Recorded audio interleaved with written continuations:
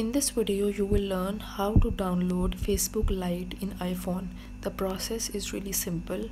So to download any application in iPhone you have to open App Store and for Android mobile you have to open Play Store. So in order to download Facebook Lite in iPhone tap on App Store and once you have opened App Store wait for it to load and then tap on the search bar located on the right bottom corner and then tap on search bar write facebook Lite application name. Here it is second one. After that tap on get option.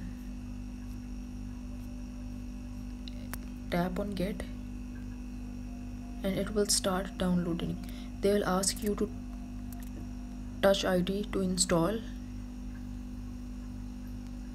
Tap on your button to scan your fingerprint. And now the application will be start downloading. Tap on open. So this was the process by which you can install messenger facebook down Lite in iphone